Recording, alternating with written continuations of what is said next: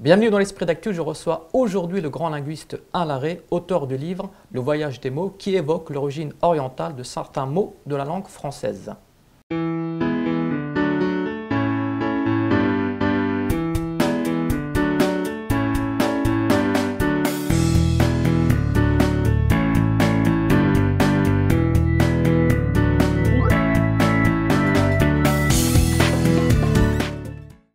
Bonjour Alain Bonjour. Alors vous êtes euh, linguiste, auteur euh, du dictionnaire Le Petit Robert notamment.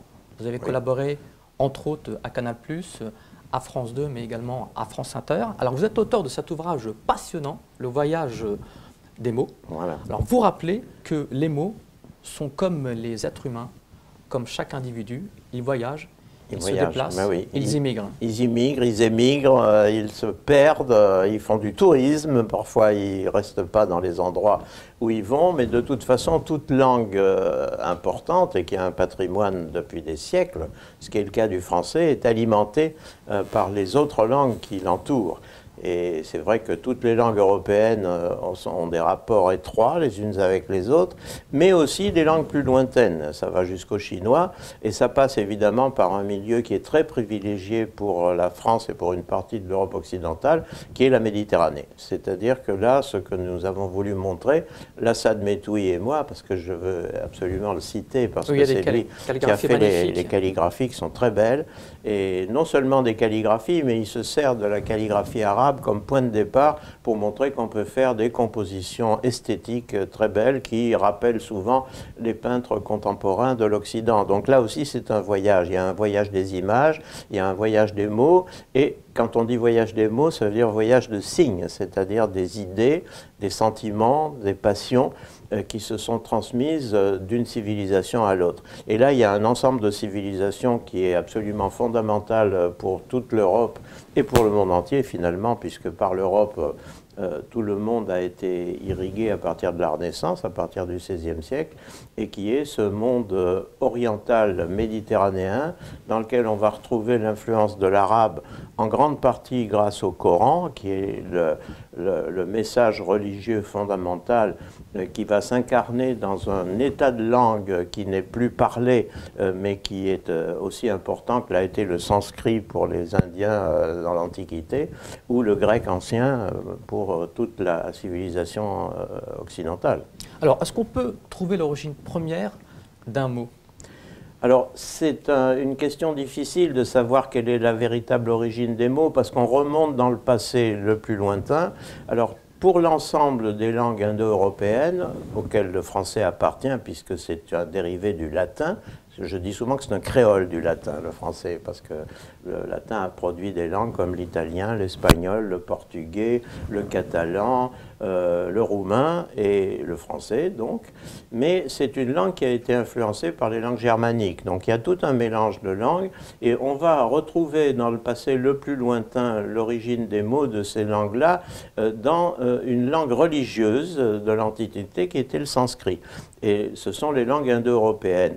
Par contre, l'arabe est une langue sémitique. Elle est donc apparentée à l'hébreu, à l'araméen, qui est la langue de la Bible, et la langue de l'Évangile au départ, après traduite en grec. Le grec est une langue indo-européenne, et dans les langues sources de ce livre, qui sont celles qui ont alimenté la langue française, il y a donc l'arabe, langue sémitique, il y a le turc, qui est une langue qui vient d'Asie centrale, qui est turco-mongole, et qui est, partie vers, vers son Occident, et cet Occident, c'est l'Anatolie, qui est la Turquie actuelle. Voilà.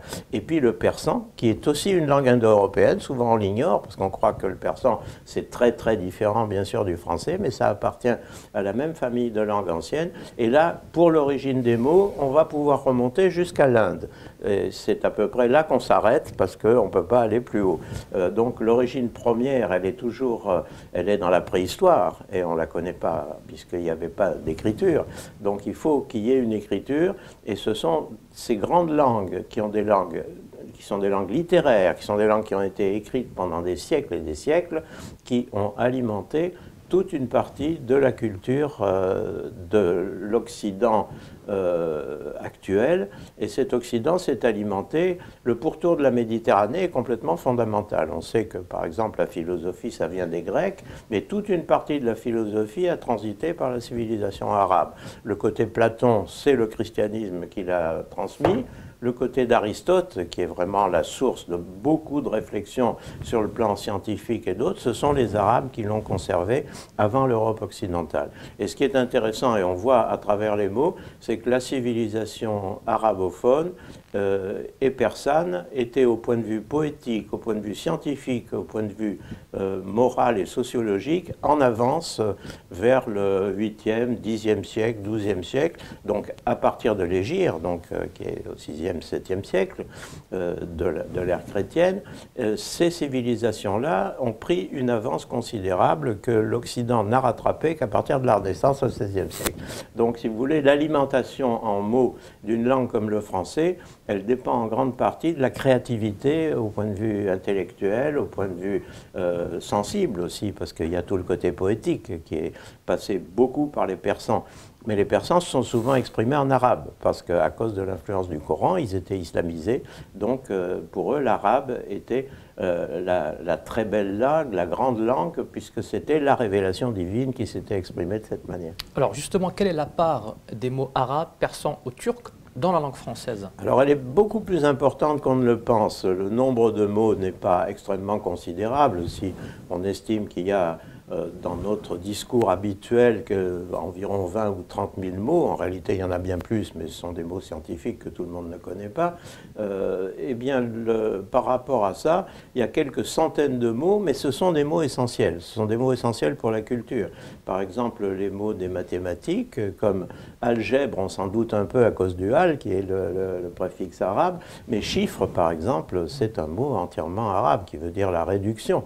Euh, donc, si vous voulez, euh, on a par rapport à l'Europe occidentale un véritable voyage qui part de, des, régions arabes, donc Méditerranée orientale, et qui va vers l'Espagne du Sud, qui a été avec une civilisation arabe en Andalousie pendant des siècles, très brillante d'ailleurs, et puis par la Sicile, qui a été arabe pendant euh, toute une époque, et alternativement arabe et normande, ce qui est un mariage euh, étonnant a priori, mais qu'on va retrouver dans l'histoire des mots, parce que des mots qui apparemment pourraient venir du nord, on s'aperçoit que, très souvent ce sont les navigateurs arabes qui sont allés un peu partout. Un mot comme satin, par exemple, on se dit le satin c'est fait avec de la soie, la soie c'est chinois. Eh bien c'est vrai, mais ça vient du nom d'une ville chinoise, mais du nom arabe d'une ville chinoise, parce que les commerçants arabes s'étaient installés en Chine pour euh, acheter de la soie et fabriquer ce, nouveau tissu qui était le satin, qui a eu un succès énorme dans tout l'Occident. Et ça, le mot est venu avec la chose, et c'est une, euh, une invention euh, commerciale de, des Arabes. Les, des mots comme caravane, des, mots comme magasin sont tous des mots arabes. Donc, Alors justement, dans votre livre, bouscule certaines idées reçues sur l'origine de certains mots, notamment le mot matelas, le mot jupe, le mot coupole, le mot houle également, qui ont tous une origine orientale. Qui ont tous des, origines orientales. Il y en a qui n'étaient pas très connus. Je prends le dernier que vous citez, qui est la houle. On croyait que ça venait du nord, parce que très souvent, on s'imagine que euh, ces mots de la navigation viennent des vikings, viennent, euh, qui sont venus en Normandie, ou viennent, euh, disons, des langues germaniques du nord. Eh bien, pas du tout, parce que la houle, il y a un, un grand arabisant du 19e siècle que je ne redécouvre pas. Il était connu, mais on n'avait pas regardé suffisamment ses œuvres, qui a traduit euh, des voyages euh, de voyageurs arabes au 7e, au 8e siècle euh, aux Indes, et dans lequel on s'aperçoit que le haul de la mer, c'est la terreur de la mer quand elle devient grosse et qu'elle est dangereuse pour le navigateur, et c'est ça qui a donné le sens du mot qui est devenu la houle. Alors aujourd'hui, la houle, ça fait pas forcément très peur, mais euh, à partir du moment où les creux de vague deviennent importants, on est le voyageur d'autrefois était terrorisé avec les navires à voile, c'est à, peu près normal. Donc on voit que c'est vraiment des voyageurs humains là qui ont transmis des mots avec euh, leur propre bagage, euh, comme c'était le cas pour les caravanes. Et les caravanes, c'est un mot arabe aussi. Et il y a aussi des mots du confort. Alors on a le sofa, on a le matelas que vous avez cité tout à l'heure. Et matelas, c'est un mot que toute l'Europe euh, occidentale du Sud a adopté. C'est matarasso en italien, c'est des, choses comme ça. Et tout ça, ça vient aussi euh, de la langue arabe, de même que des, mots qui désignent des euh, des fruits, des fleurs euh, sont des mots arabes qui nous étonnent parce que le lilas, on se dit c'est très occidental, c'est très français le lilas, mais pas du tout, c'est aussi un mot arabe. Et très souvent les noms de fleurs et les noms de plantes comme ça, euh, plantes ornementales et et des, fruits très savoureux, ça vient souvent du persan, parce qu'il y a eu un développement de l'agriculture en, Perse dans l'Antiquité, et c'est passé par la langue arabe. Donc euh, tout ça, c'est encore des voyages. Alors, merci euh, Alain Larrey. Je rappelle le titre de votre ouvrage passionnant, donc Larrey, Le voyage euh, des mots de l'Orient arabe et persan vers la langue française, calligraphie de l'Assad Metoui aux éditions Guy Trédaniel.